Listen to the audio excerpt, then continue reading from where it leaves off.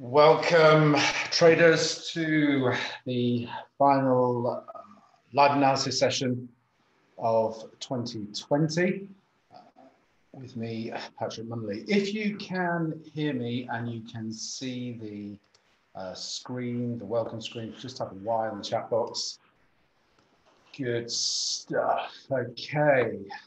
Uh, before we jump into uh, today's charts, as always, we want to adhere to the risk disclaimer and most importantly, with regards to today's session, uh, any views expressed by me today are solely mine and they're not indicative or representative of those of Tickmill UK or Tickmill Europe Limited.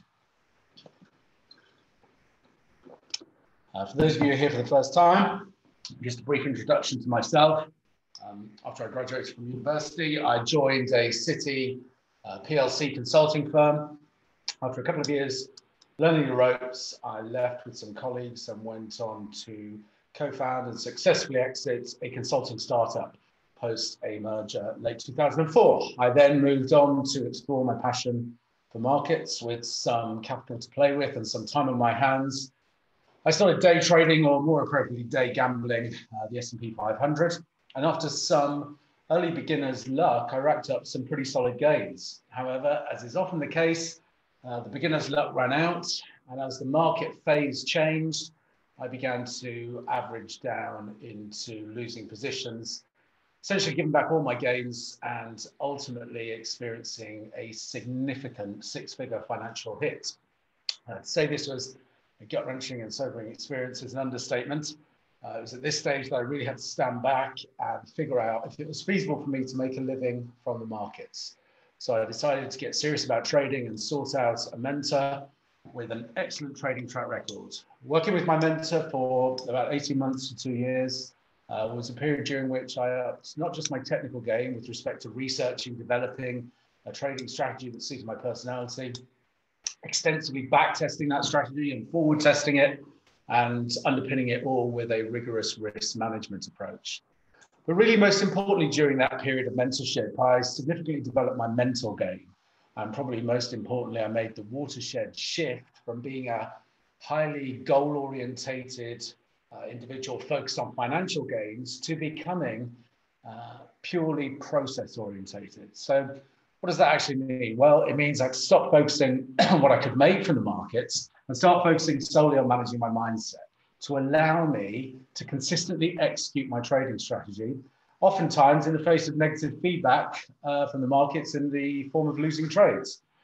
But once you become process orientated and you have a professional trading mindset and you understand the true nature of trading simply being a numbers game in which you're uh, playing the probabilities, you lose the emotional investment and that hellish emotional roller coaster of living and dying by the outcomes of individual trades. So I'm no longer concerned with the outcome of individual trades or strings of trades. Uh, my focus is on the next 100 trades because I know that if I focus on excellent in execution, my edge will demonstrate itself over an extended series of outcomes. My multi-strategy approach has delivered annual uh, profitable returns since 2008. The uh, performance figures you see on your screen are since 2013, and they represent uh, my uh, invest in my managed account service uh, because since 2013 I've been managing investor capital via uh, a managed accounts service, delivering annual positive returns. I'm currently responsible for managing a multi-million dollar portfolio. Uh, since 2010, I've also mentored over 100 private traders of all experience levels, from complete novices to former CME floor traders, in developing the technical and mental skills to reap consistent returns from the markets. I've also consulted numerous brokers and trading education brands, contributing written content, webinars, and live presentation content on a range of topics from market analysis to trading strategy development and execution. In addition to my fund management and private mentoring, I'm also a resident market expert for Tickmill, providing market and trade analysis on a daily basis through the Tickmill blog. You can actually sign up to receive updates with respect to my analysis uh, through the blog on the, uh, the Tickmill platform. My other um, passion project is as head of trading and trader education, for a leading trading education brand called fxcareerswap.com. We offer development and funding to retail trading talent at FX Career Swap. We don't just develop retail traders' uh, market and trading strategy knowledge. We work on mindset development through a structured program that culminates in managing the firm's capital at zero personal financial risk on a profit share basis. And for those who are interested in learning more about what we're doing at FX Career Swap, there's some contact information on the screen. And uh, if you want to follow up, and I'm sure the guys will provide you with whatever information you require. So that gives you a flavor of where I'm coming from. And now let's jump into the charts. I'm going to start do something a little bit different uh, start this week. uh, these charts I'm going to share with you are provided by uh, CitiFX, their uh, technical team. And there's some interesting observations here, and we're really looking, uh, you know, we're on the much higher time frames. Chart you can see on the screen uh, represents, uh, each candle represents a year worth of data. So um, what we've got here are basically yearly candlesticks. Now, obviously, you're not going to necessarily be focused on, uh, on trading the yearly candlesticks, but it's important to have an understanding or, or, or certainly um, be aware of where we are from a much, uh, much bigger perspective, because that can help inform your trading as, uh, as we go into, into the new year. And certainly an interesting observation from Citi is that we're sitting on this um, yearly trend line that's, uh, that's held now on three occasions. and we're actually about to post an outside reversal, a bullish outside reversal year in the euro dollar. And they note that in under similar circumstances, if we look back here in 1985, uh, that, that outside reversal candle was actually uh, the low for, um, for a number of years and led to a move higher over 105% in, uh, in the euro dollar. And so currently we're trading a little bit higher um, than the 121.40 on here. The, this uh, slide deck is, a, is about a week old, I think, but the observation is still valid. And certainly we want to see where we close because if we close at or above current levels, then this is just giving further um, credence to this uh, this outside reversal and uh, and could be the start of uh, of quite a significant trend move in terms of the euro. And obviously the inverse to the euro is the dollar index. And on the screen you can see the dollar index going back to 1971 here. And you note the cycles um, that, uh, that the dollar has a tendency to trade in. And certainly in terms of secular bear markets in the dollar, which, um, you know, um, it's conceivable that we are entering one, um, that these bear markets have a tendency, or certainly historically, have, um, have traded in seven year increments. So we could be in the first year, it's feasible, of a, of a seven year cycle in terms of a downdraft with respect to uh, the dollar index. Also note here on the year, uh, this is the, uh, the yearly chart again, we're getting a big outside reversal candle in the dollar index and we've got the stochastic rolling over as well and looking like it's going to uh, negatively diverge. So this, again, adding weight to the idea that uh, that we could see a rollover here in terms of uh, in terms of the dollar the dollar index. So closing at or well, again this when when they took this screenshot this is, we were trading 9074 we're trading below 90 now in terms of the dollar index so again adding weight to this idea that uh, that we could be in for a uh, another a, a decent leg lower here in terms of the dollar index next chart is the Bloomberg uh, Asian dollar index. So it's the dollar versus basket of Asian currencies. And again, you get the picture here. We're getting a big bullish outside reversal candle. And um, you can see that the last time we had one of those uh, in the late noughties, um, this led to, to further upswing in terms of um, Asian currencies versus the dollar. What we're looking at now is a chart of the Australian dollar. And you can see for the the pin bar aficionados amongst us that uh, we're putting in a pretty decent candle there in terms of uh, in terms of the Aussie. We're actually trading a bit higher now, uh, just coming off the 70, uh, just trading above 76 now in terms of the Australian dollar. and what we can read in terms of the this price action is, um, as they note here, that there's the a, a possibility now of, of an extension through to 81.25 and then 89.50. Uh, we'll take a look at uh, the weekly charts in a minute in terms of targets, but um, there is the potential that we are entering now a, uh, a bullish phase in terms of uh, in terms of the Australian dollar, and this is underpinned by the Australian dollar's uh, counter or, favorite proxy really for Australian dollar strength, and that's the uh, copper market.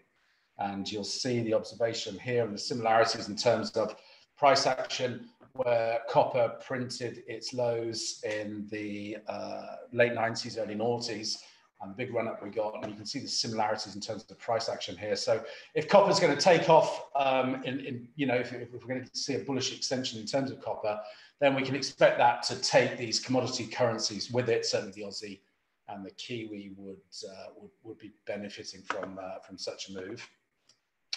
Uh, the next chart is Bitcoin, and uh, the implications of this chart are, as they say here, relatively straightforward. If we if we've taken out these prior highs now, we're trading at all uh, new all-time highs in terms of Bitcoin, and uh, you can see even in, in, a basic fashion that uh, that if we trade just within the channel here, that the scope for uh, for Bitcoin to uh, elevate in value quite significantly.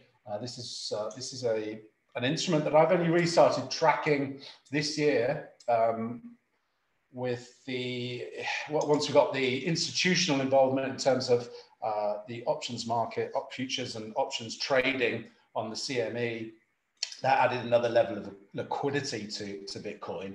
And so it's trading in a far more technical fashion now. But certainly we can see the scope here with a breakout uh, to trade into the, the top side of that channel. Um, so that's one to, to keep an eye on. And, um, and here we have the S&P 500. And uh, we're going to post a bullish outside year on a close above 3,248, trading above there at the moment.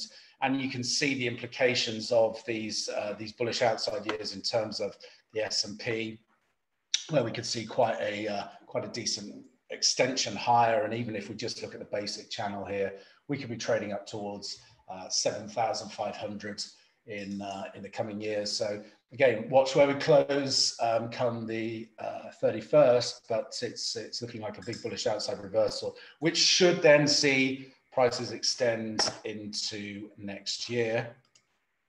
Last but not least, the Nasdaq breaking out, and uh, you can see on the screen here uh, the implications of uh, the Nasdaq breaking out, where we could actually see a decent run higher um, in terms of uh, in terms of tech. Obviously, this year, um, with respect to uh, COVID, we have seen money pour into the tech market in terms of this work from home uh, thesis, and um, and obviously tech has benefited significantly from that.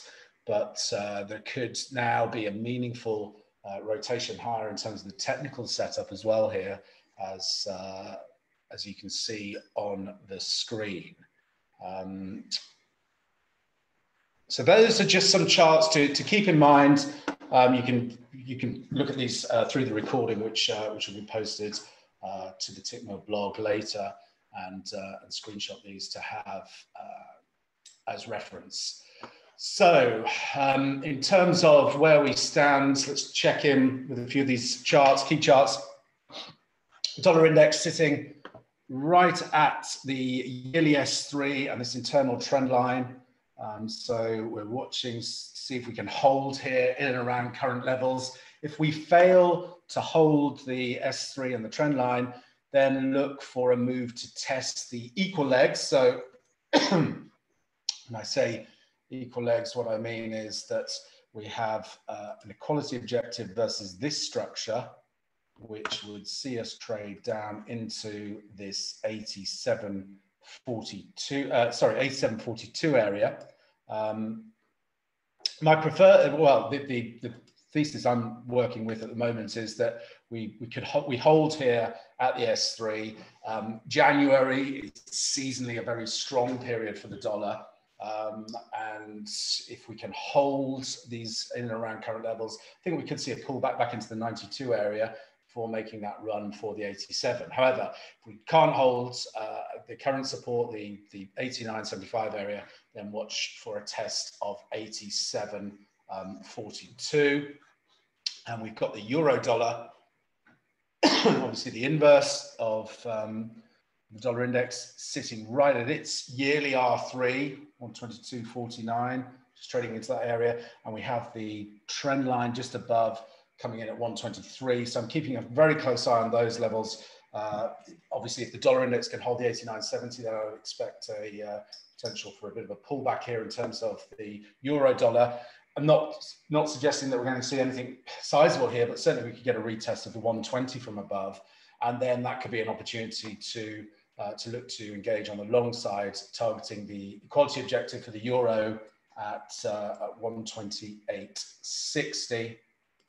Sterling, obviously, we're uh, we're seeing some benefit from the the Brexit news. Music is uh, is pretty positive at the moment, and uh, I'd be looking for a move into 137 initially. Any pullbacks then to to hold the 134, 135, because what we have with Sterling in terms of an equality objective versus this structure would be a target up at 147.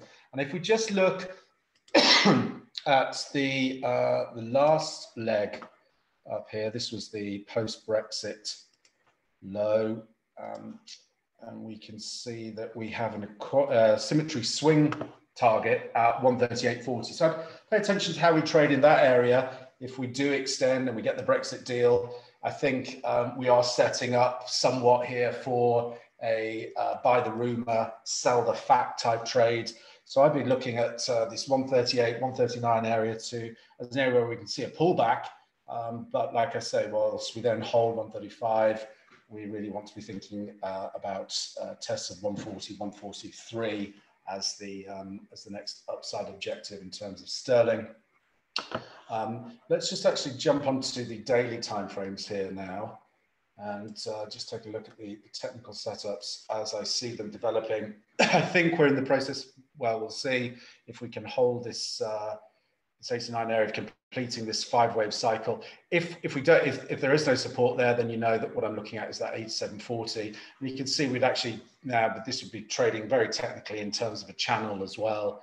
Um, so watch the 8720 to 8740 area if we can't defend these current uh, these current levels in terms of the dollar index. and uh, like I said with the euro, really paying close attention to this 123 area. I believe i I think that this is likely going to be an area where we see some profit taking, and like I say, looking for a pullback then back into this uh, this 120 area as support. Sterling chart.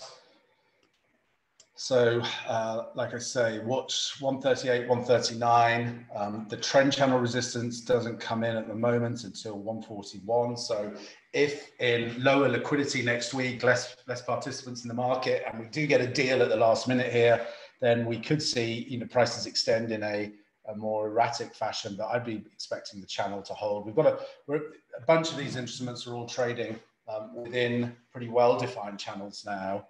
And um, I'm looking for uh, looking for a pullback in terms of uh, the Aussie here. We're, uh, we're just uh, looking for that um, 77 cents level. That's an equality objective versus uh, this wave one measured from our wave four low. So watch how we trade at 77 in terms of the Aussie. And then if we do, if we do see a spike higher, uh, 78.30 is where the trend channel resistance comes in at the moment. Kiwi. um, we've traded through the uh, the equality objective in terms of uh, the wave uh, wave one equality measure for the Kiwi. I'm looking for a test of uh, of 72 um, on the upside here to, to potentially see a pullback. What you'll note with a bunch of these instruments is we're seeing some pretty significant divergence develop. And like I say, these obviously really from from tomorrow onwards through till uh, the beginning of January, the, uh, the liquidity in these markets is going to be uh, pretty dire. And so we can see moves get a little bit erratic, like we saw um, around the turn of the year in 2018. Um, so be very careful if you're uh, if you're in these markets over the next couple of weeks, uh, because the, with the liquidity issues, we, we can uh, we can see some pretty erratic moves. The uh, the S&P 500, this one is just shy of the long-term target that I've been looking at, this uh, 37, 31 area. Now, U.S. stimulus is likely going to, or they're going to try and pass something in the um, in the Congress, and uh, and I think we could be setting up for a bit of a uh, buy the rumor, sell the fact type scenario where they pass the stimulus bill and we uh, we see a bit of a pullback in terms of equity. So watch how we trade at this 37.30 area. Now, again, if we extend through there, then the um, the next upside objective is going to be the ascending trendline resistance, which doesn't come in just shy of 4,000, so another 300 handles higher in terms of uh, in terms of the S&P. Gold, nice pattern setting up here in terms of gold and uh, corrective move into this trendline resistance at the 1950. Pay attention to how price responds there. You can be looking on the intraday timeframes, four hour, hourly timeframes, see if we get reversal patterns there in terms of gold uh, for a pullback. And then we'll see if buyers are, are actually going to step in here. If we've completed um, the, the correction here, so we're looking at A, B, C. So if we uh, if we take out this trendline resistance, we don't see any supply in the market in and around those levels then we can expect gold to, uh, to be breaking out through the 1968 area. And this will be the initial um, first wave, obviously, of a, um, of a much more significant move in terms of gold. So really want to see how we trade at the trendline resistance because we could have another leg uh, to the downside here in terms of being a more complex corrective pattern. But at the moment, uh, really pay attention to that, uh, that trendline resistance. Um, in terms of trades that I, am looking at at the moment, the, the only one I'm looking at is this CAD yen, looking for a move down to test this trendline resistance. Got this bearish rejection, the uh, VWAP rolled over, and we've got this inside candle. So looking for a breakdown through the lows here, 8090, to see if we can get a move to test 8050. And um, what we've got obviously is this potential double top scenario here versus this prior high. And like I say, you can see we've got some nice um, momentum divergence. So price, uh, we could see a more meaningful pullback. We'll have to see how we trade at the trend line in terms of the CAD yen. Um, so with respect to the charts, it's, uh, short but sweet today. Um, obviously, we're heading into the holiday period, and uh, I, for one, will uh, will be far less engaged in the markets um, over the, the next two weeks, and uh, we'll be coming back uh, ready to ready to go for um, first webinar, uh, first live analysis session will be on uh, Thursday, the 7th of January. Are there any questions? Would anyone like me to take a look at the chart? Uh, open to, uh, to taking requests. I can see we've got uh, Charlie, the FTSE. Let's have a look at the FTSE.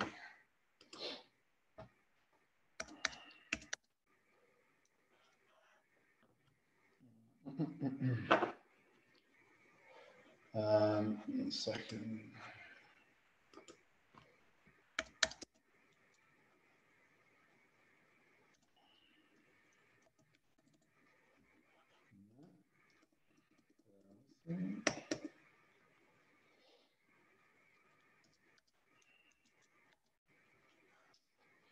Hmm. Let's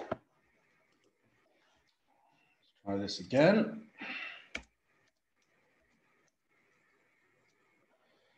Here we go. Let's see.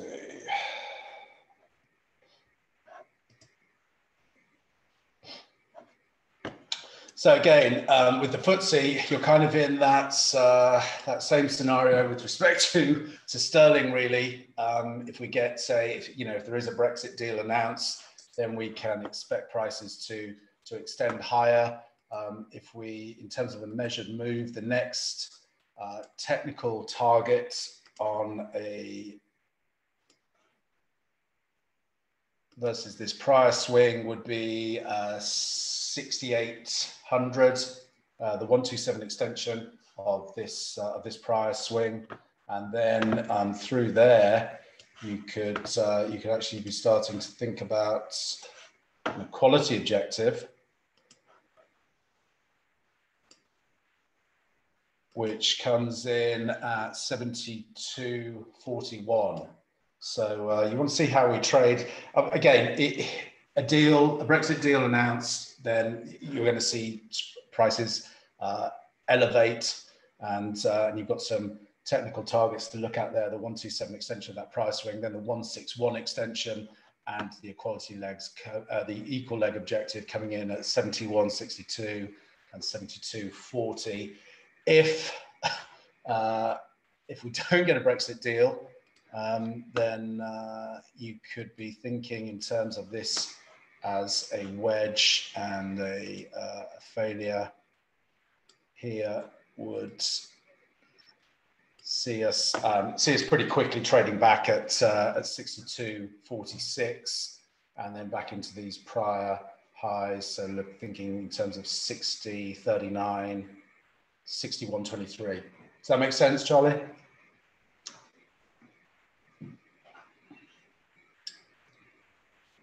Yeah, I'll uh, I'll take a look at that, Charlie, and come back to you tomorrow.